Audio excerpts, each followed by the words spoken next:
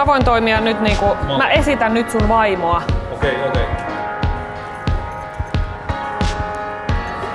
Oisko hyvä? Me ollaan nyt siis Tommin vaimolle hakemassa Tommilta äitienpäivälahjaa. Joo. Niin onko, onko tää näin yleistä, että hyvissä ajoin mies on miettimässä, että mitä sille omalle rakkaalle vaimolle voisi äitienpäivälahjaksi antaa? No ei välttämättä ihan aina, että kyllä toiset on ajoissa, mutta aika moni on sitten vähän myöhemmässäkin. Mikä on tyypillinen semmoinen tilaus, kun ennen äitienpäivää mies astuu liikkeeseen sisälle? Mitä hän sanoo? No moni sanoo, että jotakin tarttis. Mistä sitten lähdette liikkeelle? Mitä te neuvotte miehelle ensimmäisenä? No kyllä nyt vähän ensin kysellään sitten, että onko mitään ajoitusta. Kyllä sieltä yleensä sitten jotakin vähän rupeaa aukeamaan. Niin.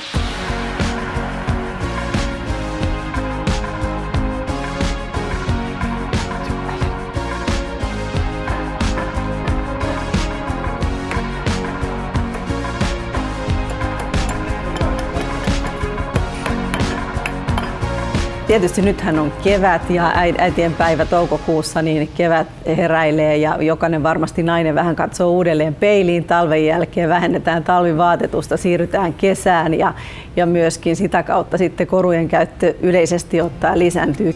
Eli tässä nyt syntyy kuuluisa vahapuu, eli tämän pohjalta sitten lähtee koru muotoutumaan tuolla tuotannossa ensin kipsiin ja sen jälkeen sitten valetaan metalliin.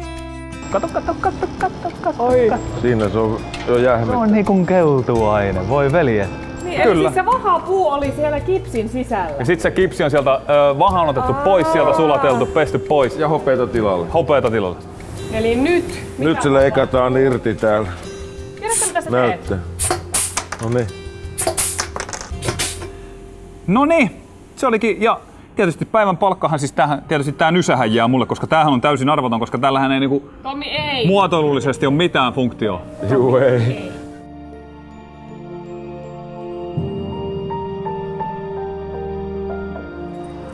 Mikä nyt olisi semmonen, niin kuin, nyt jos pitäisi pikkuhiljaa ruveta päättää? Kyllä mä lähtisin se, se sydän ja syke edellä, että, että sydän. Mä haluaisin, siis mä, haluan, mä haluan sydäntä, kyllä. Olisiko toi hyvä? Se on kaunis. Mä oon ihan varma, että sun vaimo tykkää. Kuka vaan nainen tykkää tosta. Etenkin Varsinkin vaimoni. sun antamana. Etenkin vaimoni. Ainoastaan vaimoni. On se herkkä. On se herkkä.